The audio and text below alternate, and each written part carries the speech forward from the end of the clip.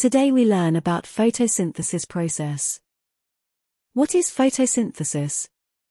Photosynthesis is the process by which plants use sunlight, water, and carbon dioxide to create oxygen and energy in the form of sugar. The plant draws up water, H2O, through its roots. The leaves take in CO2 from the air.